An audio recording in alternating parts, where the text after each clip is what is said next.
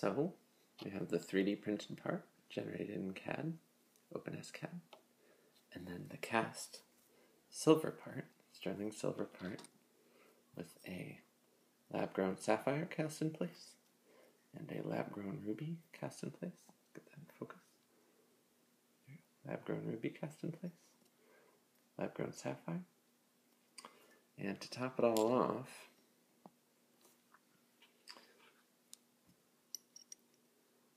we to do the prong setting demonstration for this big stone here. Before we do all of that, though, the sprue needs to be cut off, and the goal here is to preserve this black oxide finish. It's very durable and very hard to repeat without torturing everything, so we're going to be deliberate in polishing these areas before we set our final stone.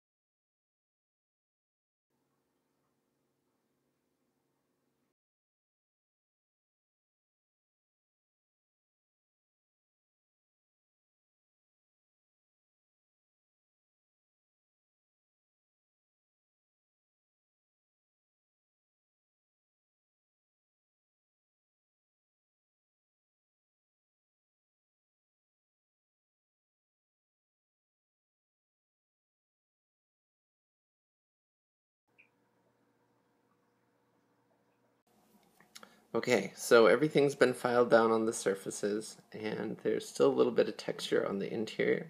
So we're going to use the flap sanding fitting on the Foredom to clean out that interior. And you just want to make sure your sandpaper is going the right way when you start and it doesn't slide off the tip when you apply pressure. And then just roll it around the interior. And the trick is you need to file everything to a uniform circle first and then your finishing is just going to take those last little details and clean them up. But you need the same uniform surface coverage, so if you end up working one area too much, you're going to end up with a groove in the metal. So we want to be careful that we're using the same speed of rotation throughout the part so we get a nice uniform sheen.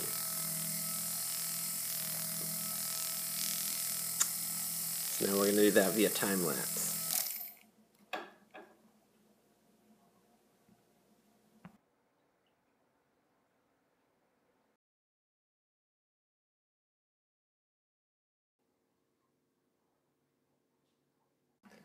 Okay, so now we're ready to set our stone. Everything's polished up the way we want. The ring fits on a finger the way we want. You want to check all that before you do the final stone setting. This is a 13 millimeter CZ. Okay, and there are a couple of ways to do this. Um, one is to bend the prongs out and then bend them back in, and the other is to knock these prong components downward. Um, what happened was somewhere in here, two of the prongs were labeled with Sharpie that they stuck out further. And uh, the Sharpie has since worn off, but I know for a fact it is this prong and this prong that have not been moved. So these two prongs are the ones that need to be squeezed in. We're going to set our stone in place so it seats within those little grooves. And then with the nylon jaw pliers, just gently squeeze our prongs, holding the gemstone up, elevated so that it seats.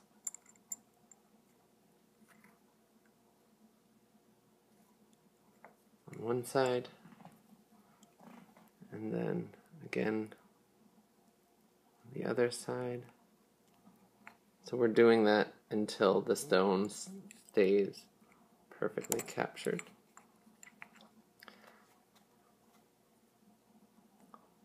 There That's a good angle.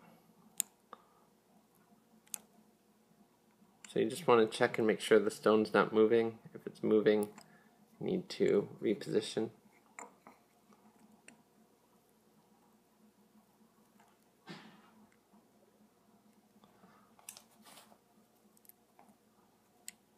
This takes a lot of strength for the larger ones.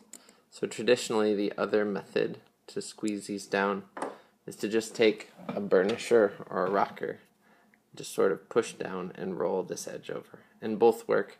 It just depends on how you designed your stone setting. Okay. But you're going to repeat this process until the stone does not wiggle.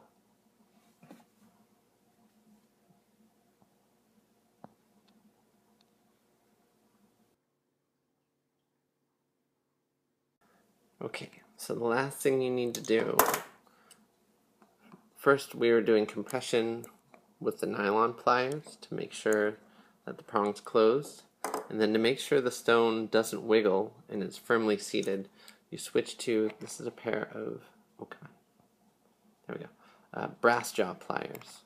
And that allows you to get the final compression of the prong and you can choose a couple of different angles. So general compression, that'll squeeze tight and then if you want to knock the top of the prong down, that's going to help seat the um, edge of your stone firmly. So basically around all four sides, here and here, and then rotate your ring. And then again, the same position where we're putting most of the pressure on the top of the prong here in order to seat the stone in place. So the stone won't move. You can see that if I tap it, or I try to rotate it, it won't wiggle. And so there it is.